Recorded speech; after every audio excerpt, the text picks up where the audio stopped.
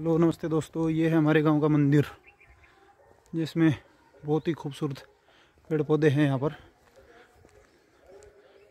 चारों तरफ़ इतने बड़े पेड़ हो चुके हैं कि मंदिर बाहर से दिखाई नहीं देता, अंदर से बहुत ही खूबसूरत मंदिर है। ये गोगा पीर की यहाँ पर मंडी है, उसके साथ में सीधा धूना है, बाबा मक्खनपुरी का मंदिर और शिवजी भगवान का यहाँ पर ये शिवलिंग रखा गया है।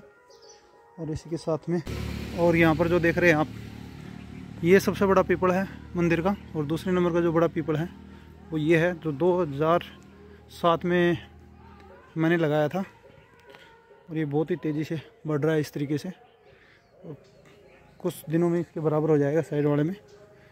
और से कुछ टाइम पहले गाँव में एक भी बड़ नहीं था। सबसे पहला जो गाँव में बड़ लगाया गया था वो ये था, जिसके चारों तरफ़ चौतरा बना दिया गया है।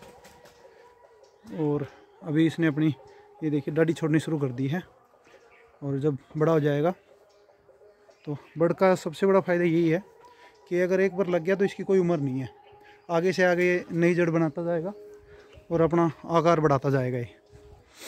इसलिए आप भी अपने गाँव में, मंदिर में, स्कूल में, जहाँ पर भी सार्वजनिक स्थल है, वहाँ पर अपने हाथों से बड़ लगा सकते हैं पीपल जिसकी उम्र और ये देखिए, बहुत ही अच्छा लग रहा है मंदिर। ग्रामवासी हर टाइम बहुत अच्छा ध्यान रखते हैं पेड़ पौधों का और मंदिर में भी बहुत अच्छी साफ़ सफ़ाई और विशेष ध्यान है यहाँ पर। सामने आपको दिख रहा है जो उगा महाराज जी की तस्वीर आपको दिख रही है घोड़े पे। ग्रामवासियों के पेड़ पौधे लगाने में बहुत अच्छी श्रद्धा है। ये इसी तरीके से आप अपने स्कूल में, मंदिर में पेड़ पौधे लगा के उसकी खूबसूरती को बढ़ा सकते हैं और पर्यावरण को स्वच्छ रहने में अपना बहुत अच्छा योगदान दे सकते हैं। ये मंदिर के साथ में, जस्ट मंदिर के पीछे यहाँ पर बहुत ही बड़ा जोड़ है गाँव का और कुछ टाइम पहले इसमें पानी नहीं रहता था, बारिश का भी बहुत कम जमा होता था और अब भी ये सूखा ही है।